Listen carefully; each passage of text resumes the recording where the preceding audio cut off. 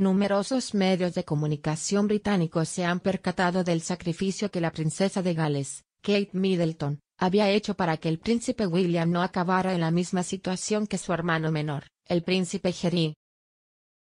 Luego de que circulara que el príncipe Guillermo de Gales habría sido infiel a su esposa con Rosenbury, también comenzó a correr la información de que varios miembros de la familia real británica apoyaban dicha relación extramarital.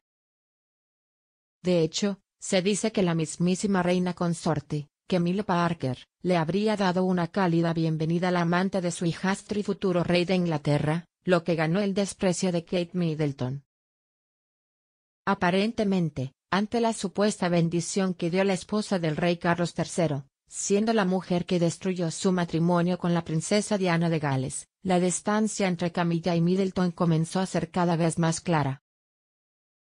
Pero eso no es todo sino que supuestamente la reina Camilla fue la persona que prohibió que se usaran tiaras el día de su coronación junto a Carlos III como reyes de Inglaterra, ya que deseaba tener su momento para brillar como nadie. A pesar de los malos ratos que ambas podrían pasar, la princesa de Gales prefirió hacer a un lado su orgullo, y tener un acercamiento a la reina Camilla, especialmente por la estabilidad de su esposo, ya que de esta forma podría evitar que ocurra lo mismo que con el duque de Sussex, y tenga una terrible relación con el monarca.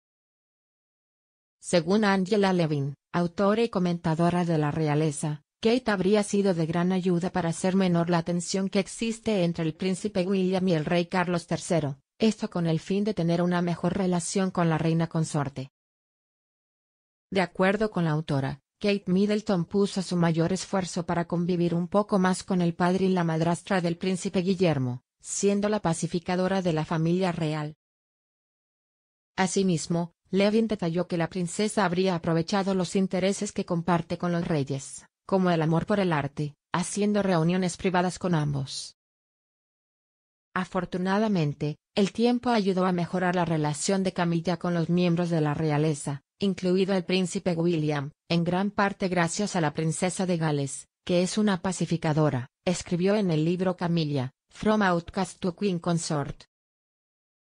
Camilla también es conciliadora y no alimenta agravios. Ambas creen que apoyar a sus maridos es una propiedad, compartió Angela Levin dentro de la obra, además de añadir, Catherine tiene un amor por las artes, que William no comparte en particular, y a menudo va tanto en privado como en público con la reina y el rey para ver exposiciones.